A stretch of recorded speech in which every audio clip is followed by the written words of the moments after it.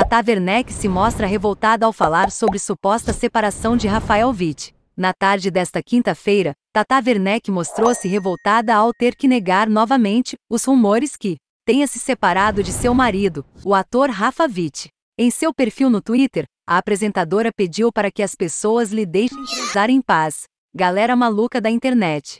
Se eu me separar, eu vou falar. Vocês não me conhecem? Eu não tenho nem capacidade de esconder as coisas.